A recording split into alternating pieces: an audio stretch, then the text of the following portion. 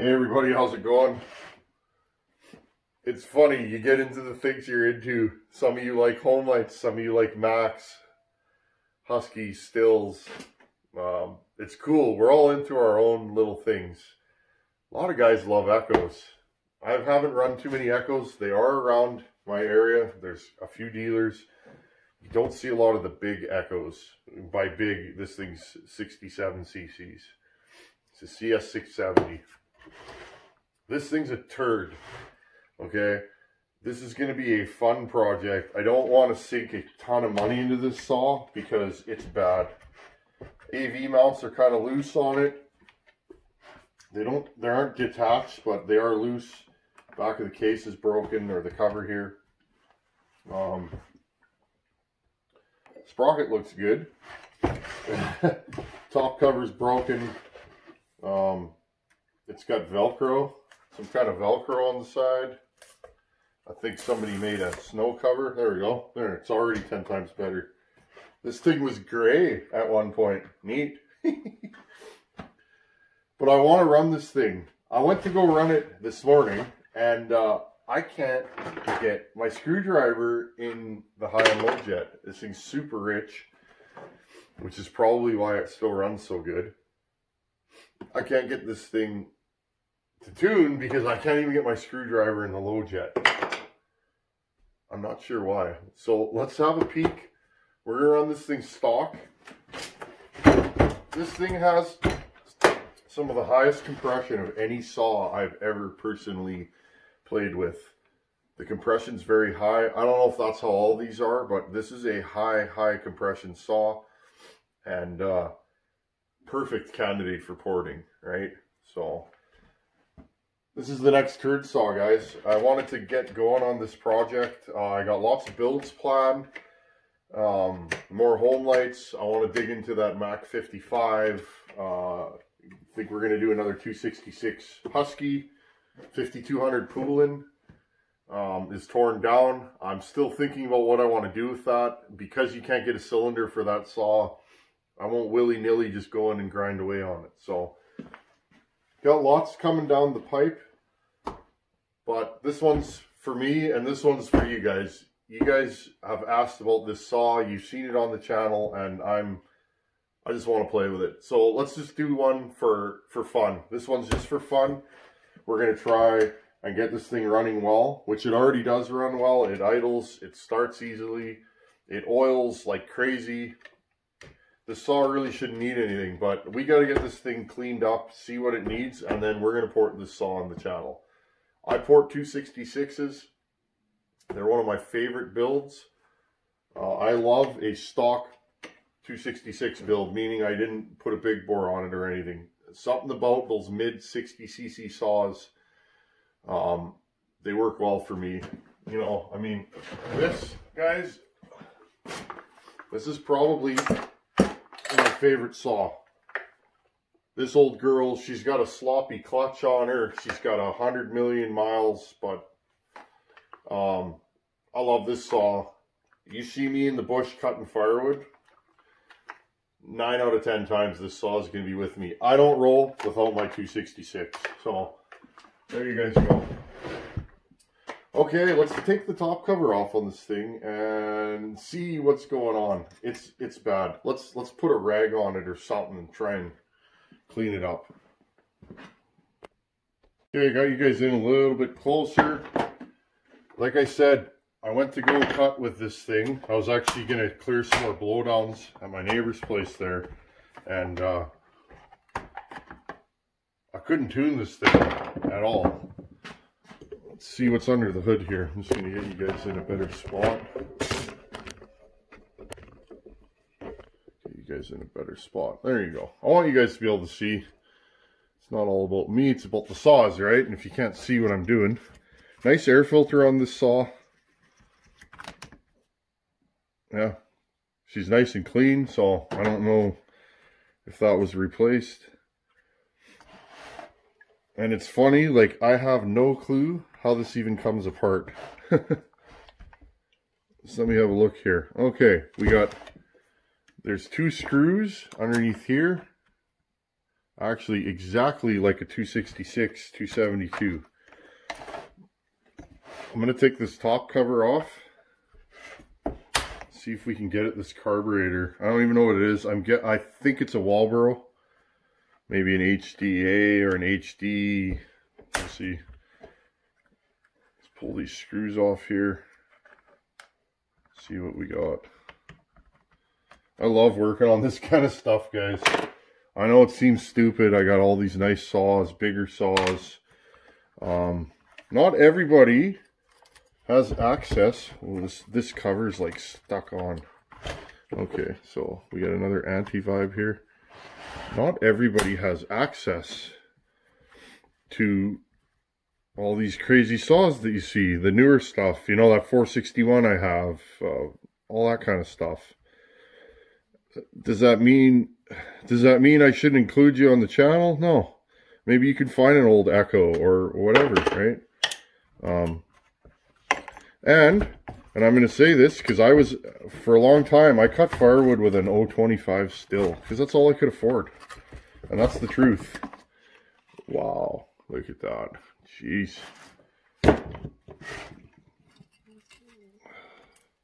Wow. So this thing has, looks like some kind of intake boot. It moves quite a bit. Oh, I see. So it just kind of sits. Again, guys, never been under the hood of one of these. So that's nice. Choke rod just comes out. What do we got here? Okay, so there are two carb screws in there. They're absolutely loaded with crap. Looks like somebody took the limiters out of this saw. Fuel line's good. I, I'm shocked, guys. This saw's been on my shelf for, I don't know, a couple years. Oh my, look at this. This saw's been on my shelf for a couple years. Yeah, that's just pitch, guys. It's melted, welded right to the top of the saw.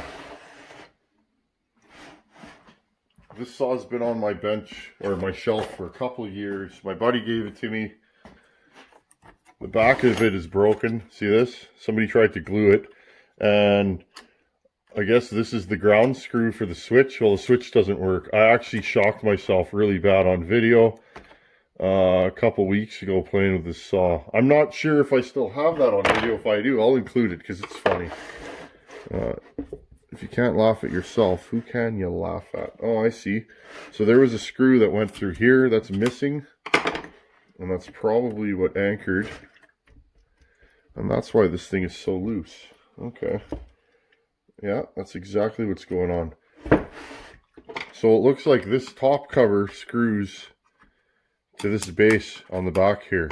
Well, it's a little bit loose here. Well, there's no screw holding this side on by the looks of it. So, okay, can we get at the screws now? Let's put a little carb cleaner in there and see what we can get at.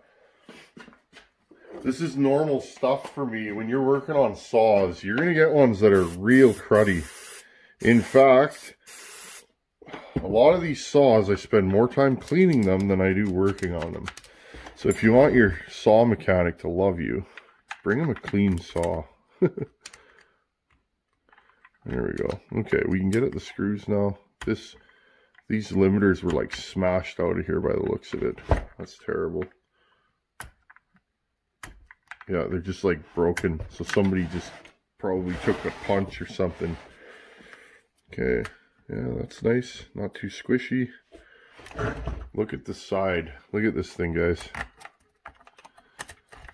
This is good. So, we might pull this apart. Let's remember this when we take the saw down. I might not remember to mention it. When we look at this saw, if we see heat-related damage to the piston on this side. We know why. Now, generally, the hot side, wow, this stuff is just absolutely stuck in here. I might need to hammer and chisel this stuff out. this saw smells like burnt pine when you run it. Now I know why. Oh, this thing's in rough shape. Just neglect. I, I think we can I think we can all say Echo makes a tough saw because this saw has never been cleaned. It has been abused its whole life and it still runs good.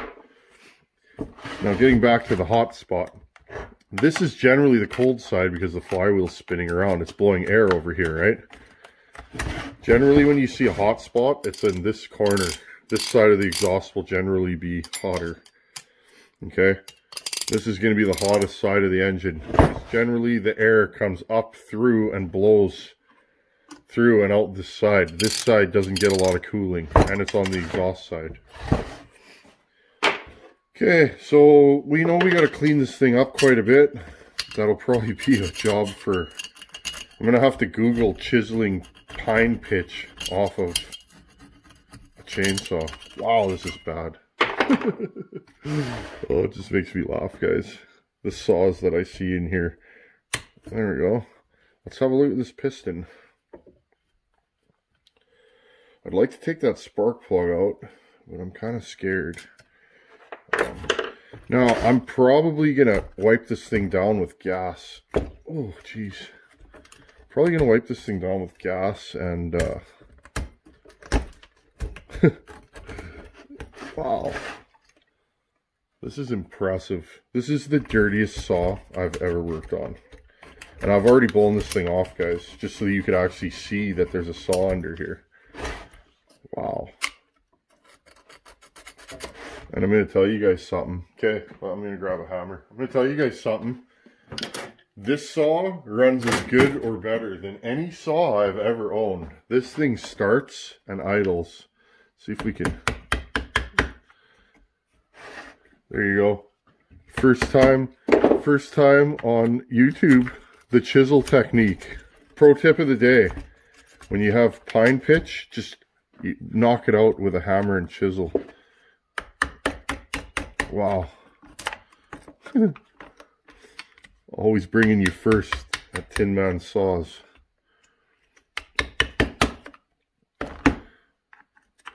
But yeah, this saw, guys, runs so good. And the fact I accidentally started it, just messing around with it. I've had this saw for, I don't even know how long, a year, two years. And uh, my buddy gave it to me and I looked at it and completely dismissed it. Don't know my Echo models very well either. So um, I'm just going to dump this on the ground here. Oh, this is bad. I don't know my Echo models, so there we go. And then one day I was like, one of my buddies or something was working on one of these and he told me what it was and I said, I think I have one of those. I mean, you know, when you when you become a saw nut, you pick up saws here, there. Next thing you know, you got shelves of saws, right? Maybe a shed full of saws. So this is just one of those random saws that I picked up and never really looked at. A lot of times saws like that, I'll just give them to a buddy that's looking for a project. Can't keep them all, right? I mean, I guess some people can, but uh, I try not to be materialistic in my life and uh, that's working well for me. I know, this is great. Okay, let's pull the spark plug out on this thing. Sorry guys for all this yakking and scraping. Uh, I've never seen anything like this before. Let's take our Homelite wrench, scrench.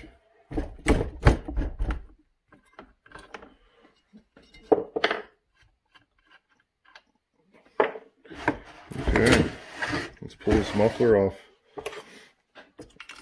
Yeah, I didn't even know what this saw was, and then somebody I know was working on one, and I was like, hey, wait a minute. I have one of those. Oh. So, I pulled this thing down, and then I threw it under my bench, which is where I put things that have caught my attention and maybe I want to work on on the channel. And, uh, Now, how does this come apart? Oh, there we go. And uh, I was pulling this over because I thought, ah, maybe I'll do something with this on the channel. Show you guys, you know. I'm sure there's Echo fans out there. And uh, I uh, I was pulling it over and I thought the kill switch was off. Well, the kill switch doesn't work on this. So I pulled it over two or three times and I'm like, wow, this thing has crazy, crazy compression. And then on the fourth time, it fired. And this saw sat there and idled. I couldn't believe it. See the condition of this piston. We could find out right now. Wow. Look at this, guys. I've never ever seen anything this bad. And this is after I blew the saw out, by the way. But you know what the nice thing is? These ones that are really cruddy, these, these kind of turd saws, often clean up the nicest. That coating of oil, that coating of oil actually protects the saw, believe it or not. That oily, just mung. Okay. I'll hold this up to the camera. Turn the light on. There we go. What do we got here?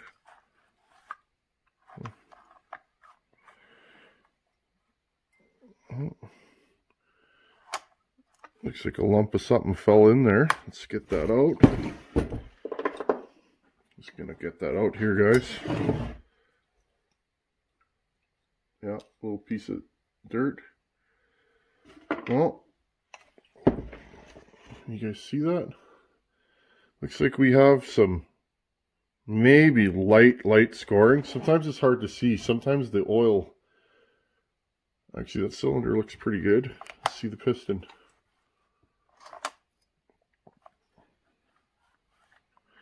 Now, one way to know this piston is still pretty good is you can see, you guys see the machine marks?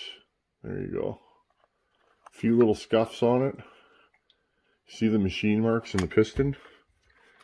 So this saw, I I would take a guess that this saw is a low, low hour saw that was absolutely abused its whole life. Okay, unless this thing's had a piston put in it which is possible. Spark plug. So she wasn't run lean. Uh, dark sooty brown. This thing's almost where it needs to be.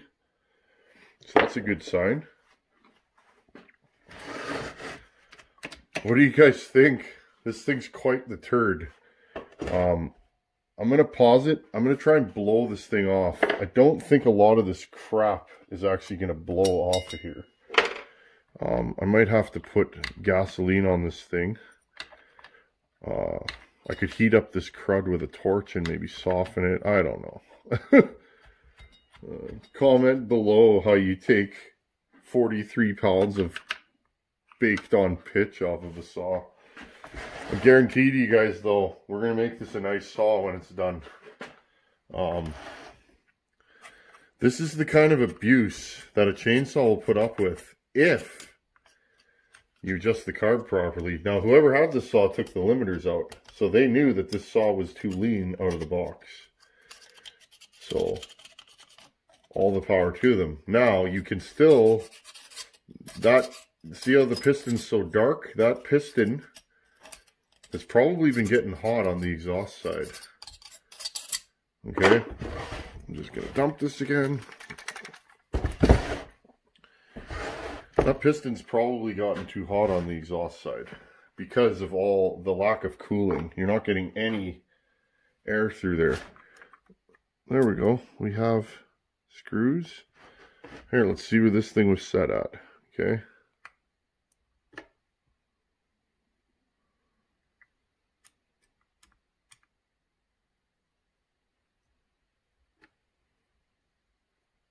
Wow. Two,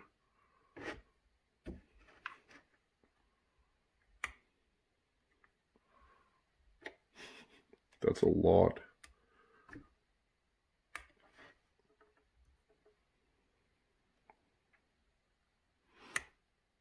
Looks like this thing was two full turns out, guys. wow. When I got this thing running, it's smoking blue and making all kinds of nasty sounds and gurgling. Okay, well, let's put it back. I'm going to put this thing at one and a quarter. So I don't know what somebody was doing with this saw.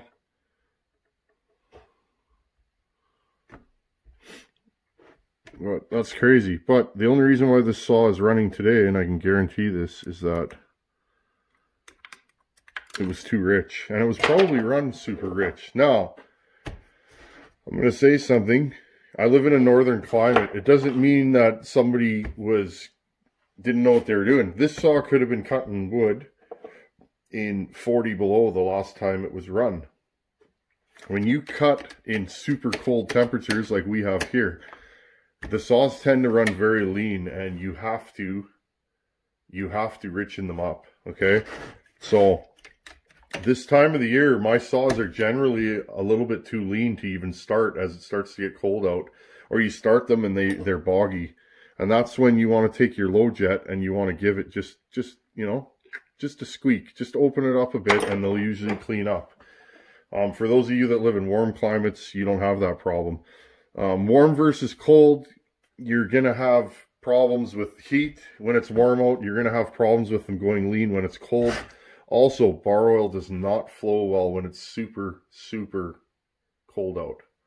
So that that's a problem. You got to warm up the saw for a long time.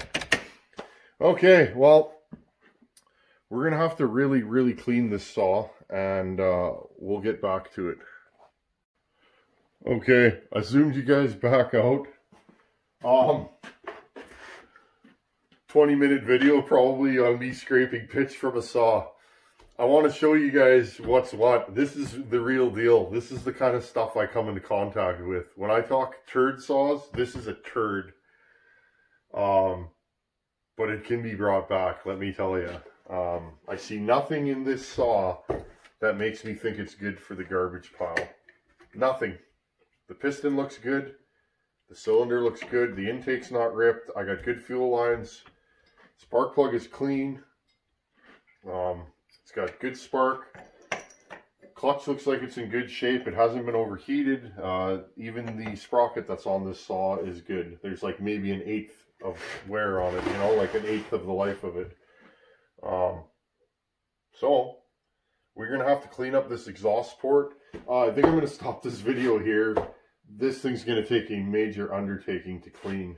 So, um, I might just slap her back together the way she was and do a video of it running. Because realistically, to clean this saw, I'm to have to take it apart. This cylinder needs to be wire wheeled. And uh, remember, this creates heat. If your cooling fins are super dirty like this, you're to overheat the saw. The only reason why this saw is still in good shape is it was probably used to cut firewood in the winter. Even though this pitch tells me this would be a spring scenario. When you're cutting pine in the spring, the pitch is really running, and uh, at least here, and uh, they get coated like this. Your bar will get covered in pitch, the front of the saw here. So but this saw was probably used to cut firewood in the winter a lot.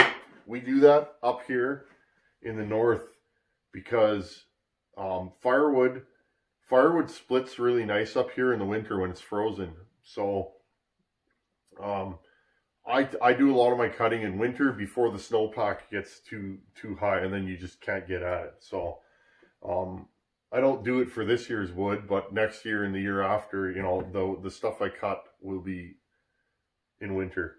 Because a lot of the wood here, it doesn't split very well. And I know everybody's wood doesn't split, but um, we get a lot of wind here, a lot of knots, and a lot of wavy grain. And a lot of the stuff will hold together here a lot. So I, I like to split in the winter when it's cooler out. So anyhow, Echo 670 turd saw. I'm probably going to label it that.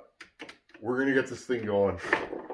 This is by far the dirtiest power saw I have ever worked on. Like, the worst. If any of you guys bring me a saw, please don't bring one that looks like this. this is awful. But I love it. I love being real with you guys and showing you guys what I encountered. Um, we're going to make this thing a ripper. I guarantee it. Okay. That's what I got for today. Uh, the next video of this saw, I'll clean it. I think it needs to be cleaned before we run it. As always, thanks for watching. Take her easy. Oh, and put in the comments if uh, if this thing's turdy enough for you guys. I know you guys like the turd sauce, so is this thing turdy enough? You tell me. Take her easy.